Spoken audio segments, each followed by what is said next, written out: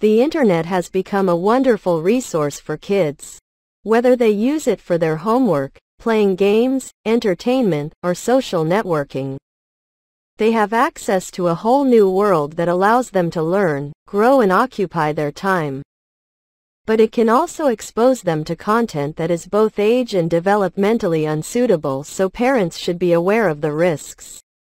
There are many websites none of us would want our kids to see. A child can either unintentionally or purposely find content that is sexually explicit, extremely violent or inappropriate. Most of these disturbing websites are not illegal, which means that they will remain online and it is up to a parent to monitor and manage. You would not feel safe allowing your child to wander aimlessly through a large city, alone and in the middle of the night so remember that the internet is like a large city. Full of good and bad and a place that a child needs to be supervised. Kids can now access pornographic content very quickly online. According to a survey by the American Association of School Librarians, 98% of the nation's schools filter the online content that's available to students. One of the biggest challenges parents face is how to make sure their children stay safe online and avoid inappropriate content.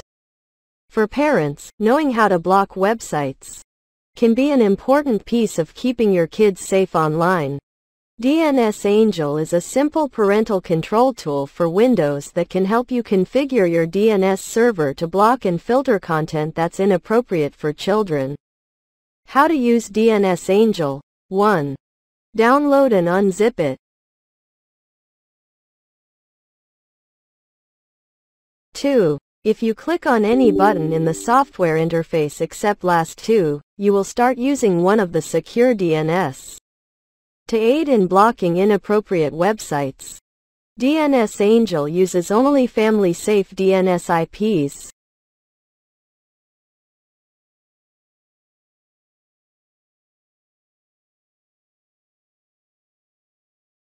Let's check modified family-safe IPv4 and IPv6 DNS IPS.